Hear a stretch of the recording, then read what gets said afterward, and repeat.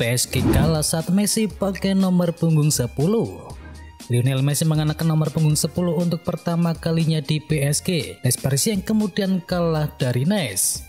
Di PSG Messi sebelumnya diberi nomor punggung 30. Sementara itu nomor punggung 10 resmi dimiliki oleh Neymar.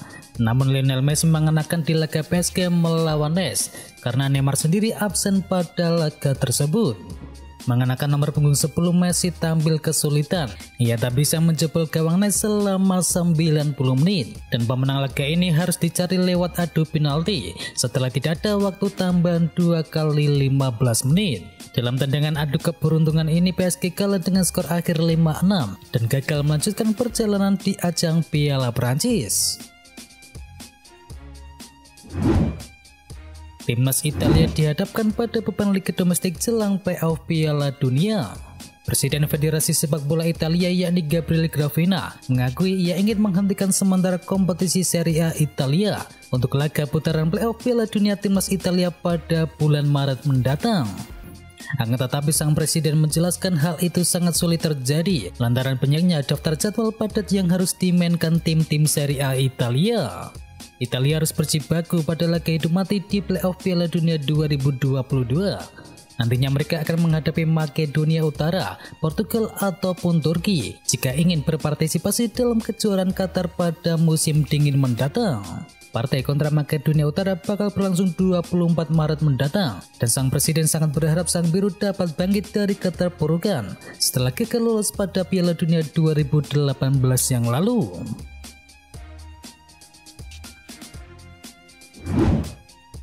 Bill John gagal gabung bersama Bordeaux. Nasib Bill John semakin tak jelas saja setelah menolak pindah menuju Prancis. Meskipun sudah mendapatkan tawaran sejak pekan yang lalu, namun tidak ada perkembangan terkait diskusi antara Bill John dengan Bordeaux. Hingga akhirnya kini muncul kabar terbaru bahwa kesepakatan itu gagal tercapai. Dikutip dari Mirror, Bill John menolak proposal peminjaman Bordeaux karena klub tersebut tidak bisa menjamin kesempatan bermain untuknya. Dengan batalnya kesempatan ini maka Bill John dipastikan masih akan bertahan di Manchester United hingga akhir musim 2021-2022 ini.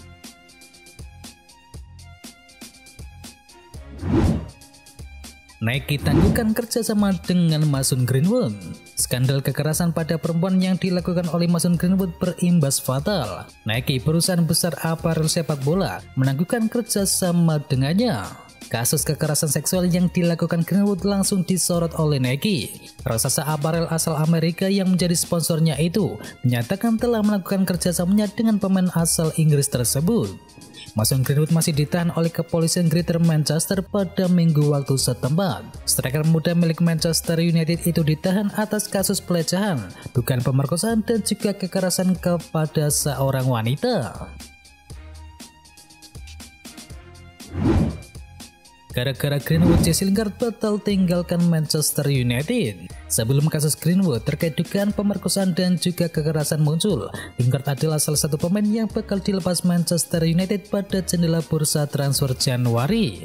Dikutip dari Mirror, Newcastle United dan juga Jesse Lingard sudah memiliki kesepakatan pribadi. Menurut pemberitaan The Athletic, Manchester United dan juga sang pelatih yakni Rangnick juga sudah memberikan lampu hijau kepada Jesse Lingard untuk bisa pergi dengan status pinjaman demi mendapatkan menit bermain secara reguler. Akan tetapi kabar Lingard dari Old Trafford itu urung terjadi setelah kasus yang dialami oleh Greenwood kini berbuntut panjang. Dalam laporan The Telegraph, situasi yang terjadi pada Mason Greenwood menjadi salah satu faktor di balik Manchester United tidak bisa meminjamkan Jesse Lingard pada saat ini. Lingard diketahui memiliki posisi yang sama dengan Mason Greenwood, jadi ia akan mengisi pos yang sementara ditinggalkan oleh Mason Greenwood tersebut. Tak mampu kejar deadline, Liverpool gagal rekrut Fabio Carvalho. Upaya salah satu raksasa Liga Inggris yakni Liverpool untuk merekrut bintang muda milik Fulham yakni Fabio Carvalho dikabarkan menemui kegagalan. Seperti yang diberitakan sebelumnya akhir pekan kemarin, Liverpool dikabarkan melayangkan tawaran senilai 5 juta pounds kepada Fulham untuk bisa memboyong Carvalho ke Anfield Stadium. Fulham sempat menolak proposal tersebut karena meminta bayaran yang jauh lebih tinggi. Namun klub divisi championship tersebut akhirnya bersedia melunak. Sayangnya berkas yang diajukan Liverpool kepada EFL tidak bisa diproses karena diterima ketika deadline sudah melewati batas. Padahal Carvalho sendiri sudah melakukan tes medis dan sepakat pindah menuju Liverpool.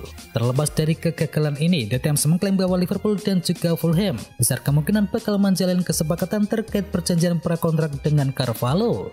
Artinya jika semua pihak sepakat maka Carvalho masih akan bergabung dengan Liverpool pada Juli 2022 nanti. Resmi Frank Lampard kini jadi pelatih baru Everton. Legenda Chelsea yakni Frank Lampard kini resmi telah menjadi pelatih baru bagi Everton. Penunjukan Lampard ini diumumkan oleh pihak Everton pada hari Senin kemarin, yang masuk menggantikan posisi yang sebelumnya diisi oleh Rafa Benitez. Dalam situs resminya Everton memastikan bahwa Frank Lampard akan dikontrak selama dua setengah tahun. Lampard nanti juga akan langsung menangani The Toffees ketika klub tersebut bersuara dengan Brentford di ajang FA Cup. Usia resmi ditunjuk sebagai pelatih baru Everton, Frank Lampard kini pun angkat bicara. Ia mengaku senang bisa mendapatkan kesempatan melatih The Toffees.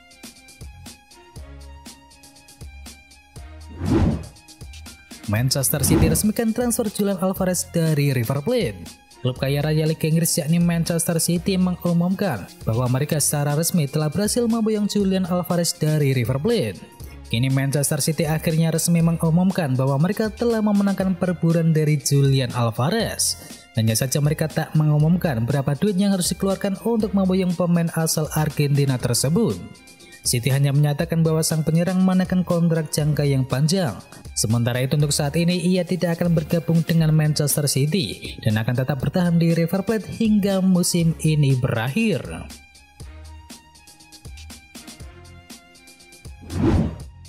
Barcelona resmi amankan Aubameyang di menit-menit akhir bursa transfer.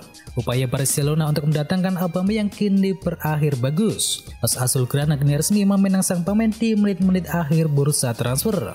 Proposal awal Barcelona adalah mengkat Aubameyang sebagai pemain pinjaman hingga akhir musim ini. Namun rencana itu diubah dengan menyegel statusnya menjadi permanen.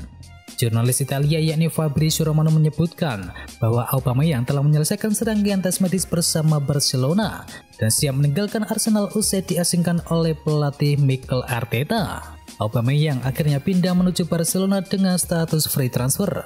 Kabarnya ia akan dikontrak selama enam bulan dengan opsi perpanjangan selama satu tahun.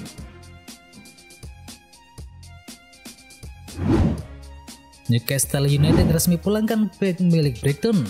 Klub Liga Inggris yakni Brighton menyetujui kesepakatan sebesar 13 juta pounds atau sekitar 250 miliar rupiah dengan Newcastle United untuk memulangkan back tengah mereka yakni Dan Burn.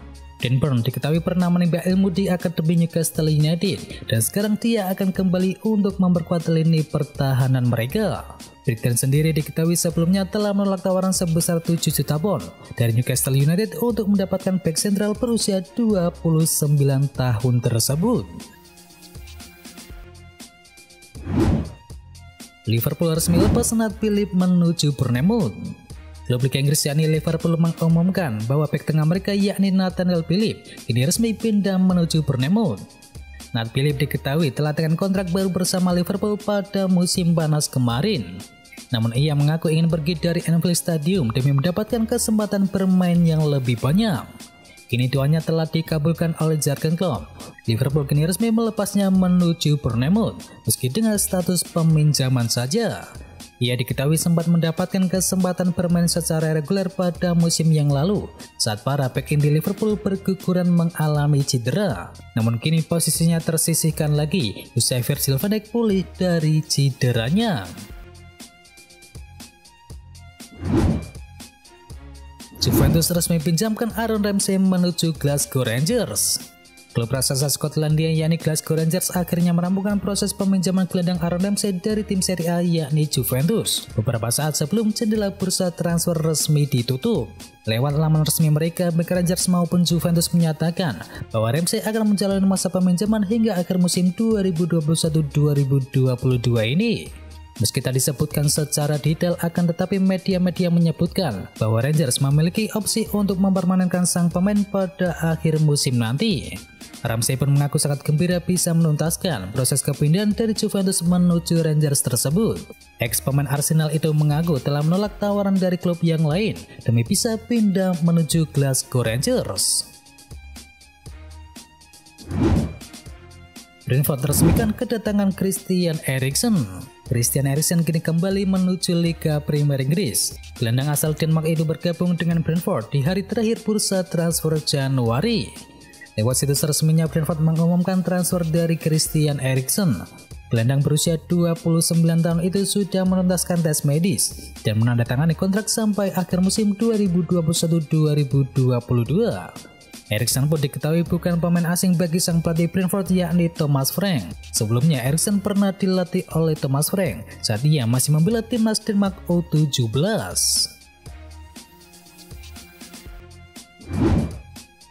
Everton resmi rampungkan transfer Dele Alli. Everton dilaporkan telah mencapai kesepakatan dengan pihak Tottenham Hotspur untuk bisa mendatangkan gelandang tengah Dele Alli pada jendela bursa transfer musim dingin. Menurut jurnalis Italia yakni Fabrizio Romano, Everton sekarang telah setuju dengan Tottenham Hotspur untuk bisa mendatangkan Dele Alli. Pakar transfer asal Italia itu mengklaim pelatih baru Everton yakni Frank Lampard menjadikan Dele Alli sebagai prioritas setelah berhasil mengamankan kesepakatan pinjaman untuk gelandang Manchester United yakni Donny van de Beek. Jurnalis di Telegraph yakni mengatakan bahwa penyerang itu akan tiba dengan status bebas transfer dan Everton wajib membayar sebesar 10 juta pound setelah Dele Ali berhasil memainkan 20 pertandingan. Namun kedatangan Dele Ali secara permanen menjadi dilema tersendiri bagi Donny van de Beek. Pasalnya mereka berdua mempunyai posisi bermain yang sama.